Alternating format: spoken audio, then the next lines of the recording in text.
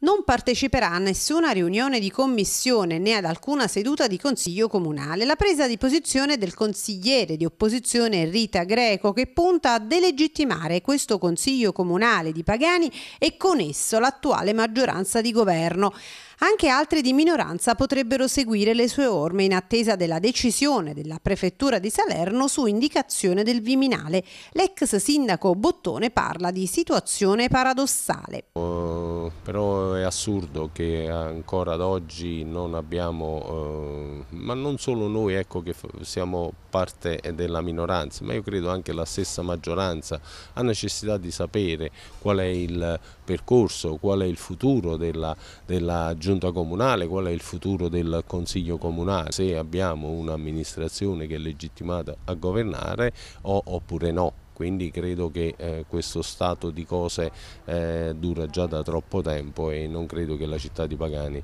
lo meriti.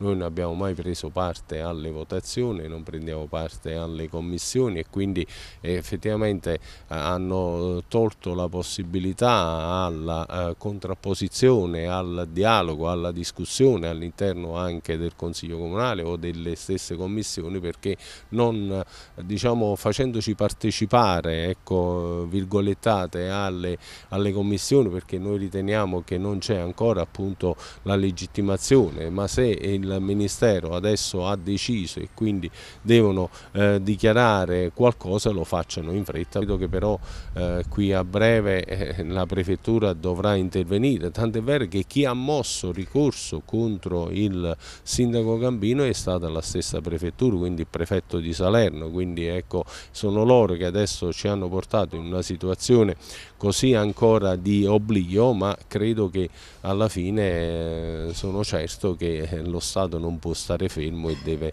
e dovrà intervenire. Intanto ieri sera vivace dibattito politico nel corso di una riunione di maggioranza forte sarebbe stata la richiesta di un rimpasto dell'esecutivo alla luce della pronuncia del Tribunale di Nocera Inferiore sulla incandidabilità e soprattutto dell'uscita di scena del sindaco Alberico Gambino che hanno smosso le acque in seno alla coalizione che aveva sostenuto il consigliere regionale nella campagna elettorale delle comunali. Ora con la guida di Palazzo San Carlo affidata di fatto al vice sindaco Anna Rosa Sessa c'è chi scalpita per un posto al sole non riconoscendosi nella squadra che Gambino ha lasciato a guidare le sorti della città.